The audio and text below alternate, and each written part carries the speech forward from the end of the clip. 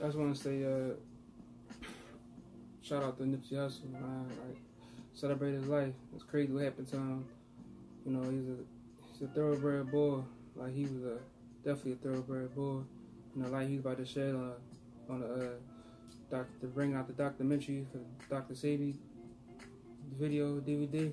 It was going to change a lot of people's lives because you know Nipsey, he from the hood, so like people in the, that's in the hood was going to listen to him. A lot of people didn't listen to Dr. Sebi because he was kind of you feel me like they they didn't relate to him, so they never gave him a chance. But hearing Nipsey talk about it, the stuff Dr. Sebi used to shed light on, they was gonna listen. So he's gonna shed light on the stuff and open up ears to people that didn't understand what Dr. Sebi was talking about, would never give him a chance to understand.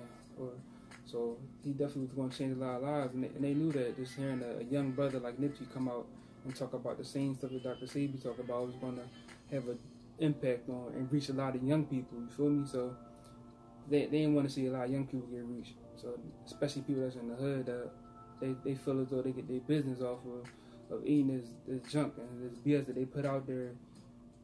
They they knew it's going it's going to make a big difference and change a lot of lives. And not only that though, he was just coming to here. He was just doing the movement just trying to bring the Bloods and the Crips together. Like he was a definitely a positive positive dude. You I'm saying I, I heard. Uh, I heard uh, Daylyt say something about that on a, uh, on a YouTube video I was watching, and he, and he, was doing that. That's crazy. Like he was, he was bringing the Bloods and Crips together. Like I ain't even from. I don't even know what go down down there. I can just speculate what go down there with the beef between the Bloods and the Crips. But just to know that he was he was had in play of bringing together. That's that's that's thorough. Like just to get two sides as warring with each other to stop and it's to collide and just to uh, combine with each other. You know, that's that's very powerful. He's a powerful boy. It's not always in with the message that you preach. It's always how you deliver it. It's about the energy you bring delivering the message, and it's about who giving giving it. So when Nipsey would have preached, people would have definitely listened to it.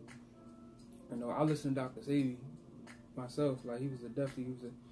I, appreciate the message and, and light he shared it to me, but, but other people would have definitely got the same message and listen to doctors and listen to uh, Nipsey, and they probably would start listening to Dr. Sebi because of Nipsey. Because some people ain't gonna want to hear what this Dr. Sebi talking about by this Dr. Sebi.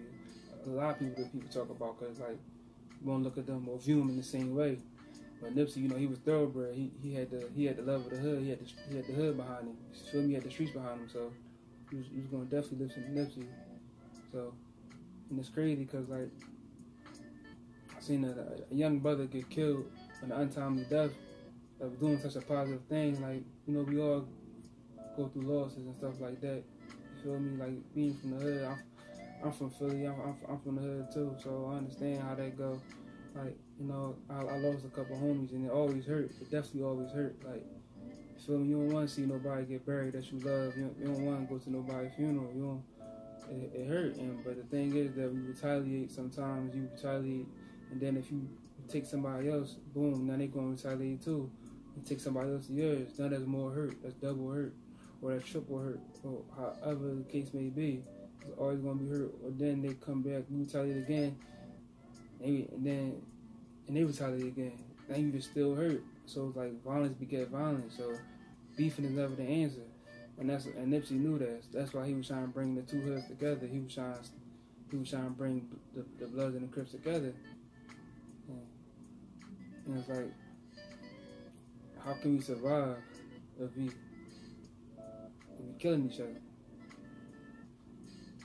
How can we survive if we don't even take care of ourselves? If you don't even, you don't even know how to take care of yourself. You wasn't taught how to take care of yourself. You wasn't taught the proper or the proper nutrients or, or, or proper foods you need to put in your body because that stuff that they have to stuff they teach you is all lies. It's, everything they, they say FDA approved. Everything's FDA approved, but is it really approved? Because a lot of stuff they approve here in other countries don't even eat. It's crazy though. But he was hoping somebody pick up the where he left off at, and they and they uh they pick up the torch and they keep the movement going for what he was trying to do in this in the streets of his city, of his hometown, and they keep keep doing.